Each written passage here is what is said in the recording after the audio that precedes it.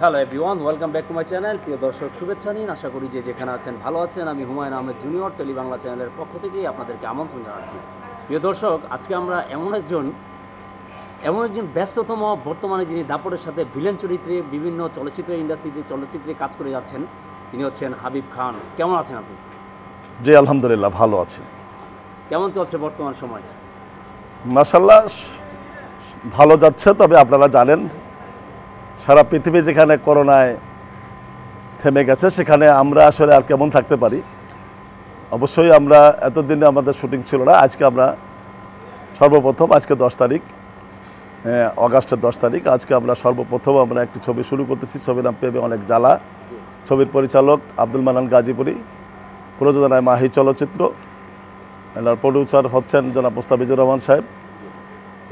এই সিনেমাটির শুটিং আমরা আজকে শুরু করেছি। তা আসলে এই করোনাকালীন সময় আমরা সিনেমার কাজ করতেছি।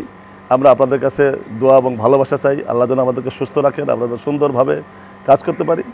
এই ছবিটি আসলে না বললে নয়, এই ছবিটি একটি ব্যতিক্রম ধর্মের চলচ্চিত্র এবং এই ছবিটি দিয়ে আপনারা যদি হলে গিয়ে দেখেন, তাহলে আমার মনে হয় আপনারা সত্যিকার অর্থে একটা ভালো ধরনের বিনোদন বা আনন্দ কিছু পাবেন বলে আমি আশাবাদ ব্যক্ত করছি।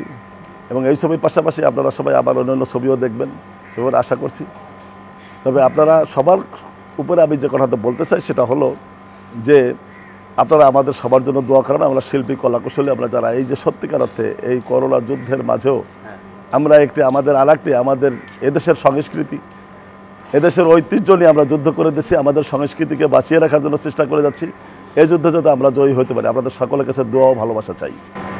একটা বিষয় প্রথমে জানতে চাই যে আপনার চলচ্চিত্রের এখন যে পরিস্থিতি সবাই জানে দর্শকরাও জানে। এখন এই পরিস্থিতিতে আসলে কি করণীয় বলে আপনি মনে করেন?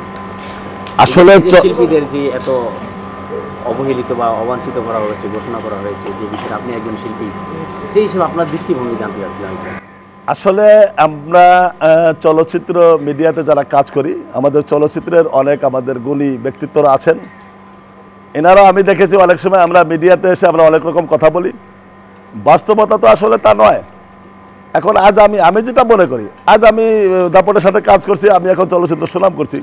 আমি হয়তো একসময় যখন আমাকে কেউ চলচ্চিত্র যখন দিবে না, তখন আমি হয়তো এই পেশাকে আমি একটু ছোটো করে দেখব, আমি এটাকে আরও ছোটো করার চেষ্টা করি, বা এ ধরনের কিছু মানসিকতা আমি মানুষদেরকে দেখেছি। তবে আমি ব্যক্তিগতভাবে বলব, আমরা যারা চলচ্চিত্রকে ভালোবাসি, আসলে আমরা চলচ্চিত্রের কথা বলি। আমরা এদেশের সাধারণ মানুষ, সবাইকে আমরা বলব, আমরা যারা বাংলাদেশি নাগরিক, এদেশের ঐতিহ্য রক্ষার দায়িত্ব আমাদের, আমরা এই ঐতিহ্যকে ধরে রাখার জন্য আমরা সকলে চেষ্টা করি। আপনি একটা কথা ভুলে যান কেন? এদেশের ভাষা, এদেশের সংস্কৃতি আমার মায়ের কথা বলে।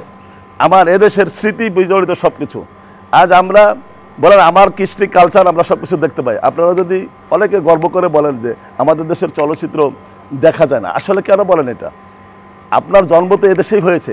আপনি তো এই দেশেরই নাগরিক। এই দেশের নাগরিক হিসেবে কি আপনার কোনো দায়িত্ব নেই? হ্যাঁ আপনি, আমি বলতে পারি, আপনার কাছে মনে করেন একটি সিনেমা ভালো লাগেনি। আচ্ছা ভালো লাগেনি, ঠিক আছে, আপনি এসে পরামর্শ দিন। আপনি আমাদের সাথে সম্পৃক্ত হন, আপনারা আগায় আসেন, তাদেরকে সুপরামর্শ দেন। বিভিন্ন ওয়ে আছে এখন এখন একেবারে খোলা, সারা পৃথিবীটা এখন খোলা। তা আপনারা সেখানে তাদেরকে সেইভাবে পরামর্শ দিন। আপনি ওয়েবসাইটে গিয়ে তাকে পরামর্শ দিতে পারতেছেন, সমস্যা নেই তো। কিন্তু এসব না দিয়ে আমরা বিভিন্ন রকমের, সত্যিকার অর্থে যে কথাগুলি, আপনি যে বলেন যে চলচ্চিত্রের এই সময় বলতে আমি কি বোঝাচ্ছেন আমি বুঝিনি। তবে আমি এটুকুই বলতে চাই, চলচ্চিত্রের এই সময় আর সেই সময় বলে কোনো কথা নেই। হ্যাঁ হয়তো কি যুগের সাথে যুগের সাথে আমাদের কিছু পরিবর্তন হয়েছে। আমাদের যুগের পরিবর্তনটাকে আমাদেরকে মানতেই হবে। সারা পৃথিবী যখন ডিজিটাল যুগ, ডিজিটালে হয়তো কি আমরা ডিজিটাল যুগের সাথে আমরা ডিজিটাল প্রযুক্তিগতভাবে আমরা কিছুটা পিছিয়ে আছি। সেই পিছিয়ে থাকাটাকে আমরা বলতে পারেন আমরা পিছিয়ে পড়েছি। আসলে আমরা কর্মকাণ্ডে, আমাদের এদেশে অনেক গুণী শিল্পী আছেন, এদেশে অনেক গুণী নির্মাতা আছেন। আমি আজকে একটা বিষয় শুনে অবাক হলাম। আমাদের দেশে এমনও পরিচালক আছে যারা সারা পৃথিবীতে সর্বাধিক সিনেমার পরিচালনা করেছেন। আমি এক আজকে একজন ডিরেক্টরের কথা আমি দেখলাম, বিশেষ করে আমাদের দেলোয়ার রহমান জন্টু সাহেব। আমি তার একটা কথা শুনে আমি খুব অবাক হলাম উনি আটাত্তরটা সিনেমা নির্মাণ করেছেন। আটাত্তরটা সিনেমা মনে হয় শুধু আমার এখানে না, আমার মনে হয় বহির্বিশ্বে কোথাও এমন কোনো পরিচালক নেই যে উনি আটাত্তরটা ছবি নির্মাণ করতে পারেন। তবে আমি মনে করি এটা অবশ্যই আমার দেশের জন্য একটি, এটা অবশ্যই গর্বের বিষয়। আমার দেশের অনেক ভালো গুণী নির্মাতা এরা এরা ভালো কাজ করে এবং তাদের ছবিও আমার মনে হয় একসময় মানুষ ভালোভাবে দেখেছে। এখন তাদেরকে আরও সুযোগ করে দিতে হবে তারা যেন আরও ভালো কিছু উপহার দিয়ে যেতে পারেন। এসব আমরা বাজে মন্তব্য না করি। আর একটা বিষয় হলো চলচ্চিত্র নিয়ে বলছেন চলচ্চিত্র একটি পরিবার। এই পরিবারের মধ্যে সাময়িকভাবে সব পরিবারেই স্বাভাবিক সাময়িক প্রবলেম থাকতে পারে। আপনার ঘরেও দ্বন্দ্ব আছে আমার ঘরেও দ্বন্দ্ব থাকতে পারে। পৃথিবীর সব জায়গাতেই পারিবারিক দ্বন্দ্ব হতে পারে। একটা পরিবার পরিবারের ভিতরে ভুল বোঝাবুঝি হতেই পারে। তা আমি মনে করব যারা এই ভুল বোঝাবুঝি সৃষ্টি করেছেন বা যারা এর সাথে জড়িত এই সমস্তগুলি সব ভুলে গিয়ে আমরা সবাই একে অন্যের সাথে কারোর সাথে আমরা মানে দ্বিধা বিভক্ত না হয়ে আমরা সকলে একত্রিত হয়ে মানে করেন এটাকে আমি যদি ভুল করে থাকি আমি ভুলের জন্য ক্ষমা চাই এবং আমি পরবর্তীতে এই ভুলটা না করি সেই ব্যাপারে আমরা সবাই একসাথে সচেতন হই। এটাকে আমি আমি চাই এটা সম- সম- সমষ্টিগতভাবে এটার মীমাংসা হলে আমার মনে হয় ভালো হয়। আমি এটা এটাই মনে করি। আমরা শিল্পীরা আমাদের কোনো দল মত বা আমাদের যা কিছুই থাক আমাদের শিল্পী পরিবারের ভিতরে কোনো ভুল বোঝাবুঝি হোক এটা আমরা কখনোই আমি কামনা করি না। এটা আমি মনে করি আমরা সবাই এক এবং আছিও এক হয়তো থাকব এক। সাময়িক সমস্যা সব পরিবারেই হয়। এটা হতেই পারে। আচ্ছা একটা বিষয় জানতে চাই ভাই যে আপনি তো সিনিয়র মানুষ এখন খুব ব্যস্ততম একটা সময় পার করছেন কাজ করে যাচ্ছেন ঠিক না? চলচ্চিত্রের অবস্থা খুব খারাপই বলা চলে। আসলে দর্শক এখন দর্শকদেরকে সিনেমা হলে টানতে হলে আপনি যে সময়টা চলচ্চিত্রে আসছেন ওই সময় একটা স্বর্ণালী যুগে ছিল। একটা জোয়ার ছিল ভালো ইন্ডাস্ট্রিতে ঠিক না? ছবিও নির্মাণ হইতো। দর্শকও সিনেমা হলমুখী ছিল। তো এখন দর্শক সিনেমা হলে যাচ্ছে না কেন আসলে? কি করলে আসলে, কারা দায়ী এর জন্য? কি করলে পরে দর্শকদের সেই আগের মতো পরিবার কেন্দ্রিক যে সিনেমার ছবিগুলো হইতো, দর্শকগুলো সিনেমা হলো বা হলমুখী নেওয়া যায়, কি করণীয় আসলে আপনার দৃষ্টিতে জানতে চাচ্ছিলাম?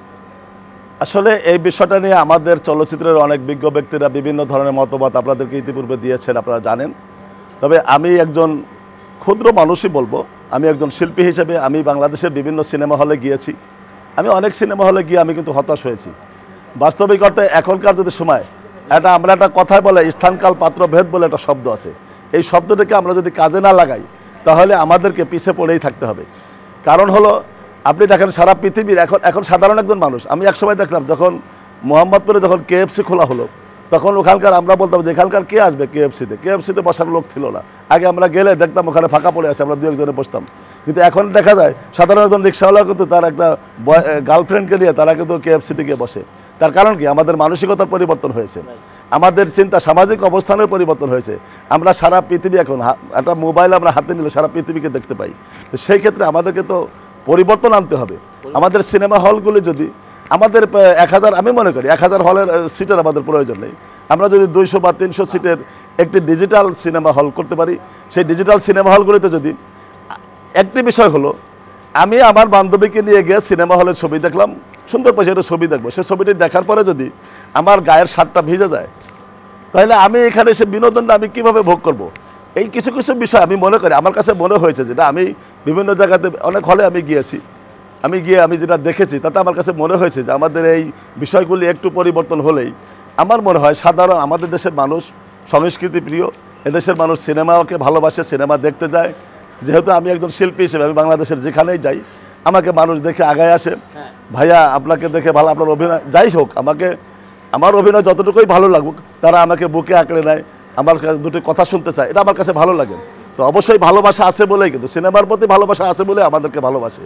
তো আমি সেই অর্থে আমি মনে করি বাংলাদেশের সিনেমা দেখার মতো মানুষের মানসিকতাও আছে কিন্তু সেই মানসিকতা আমাদেরকে তৈরি করতে হবে।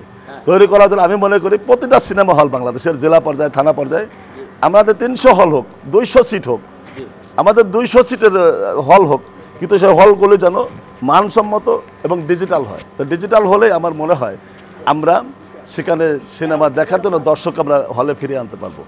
দর্শকদের উদ্দেশ্যে বলে বিদায় নিই না দর্শক যেন সিনেমা হলে যায়। বেশি বেশি যেন বাংলা চলচ্চিত্র দেখে। থ্যাংক ইউ সুপ্রিয় দর্শক শ্রোতা ভাই ও বোনেরা। আসলে আমি আমি সবার আগে চিন্তা করি আমি একজন শিল্পী। শিল্পীর আগে চিন্তা করি আমি একজন বাংলাদেশি আমি একজন বাঙালি।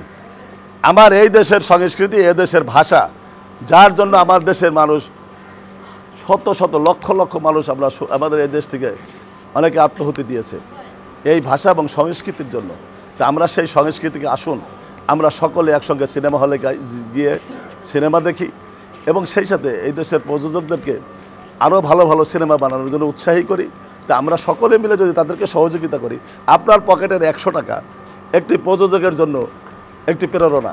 এই কথাটা যদি আমরা মনে রাখি আমরা আমার বিশ্বাস আপনারা যদি সত্যিকার আমাদেরকে ভালোবাসেন এই দেশকে ভালোবাসেন দেশের সংস্কৃতিকে ভালোবাসেন তাহলে আপনার এই সামান্য একশো টাকা দিয়ে আপনারা সিনেমা হলে গিয়ে সিনেমা দেখুন এবং আমাদের চলচ্চিত্র অঙ্গনকে সাংস্কৃতিক অঙ্গনটাকে আপনারা পুনরুজ্জীবিত করুন।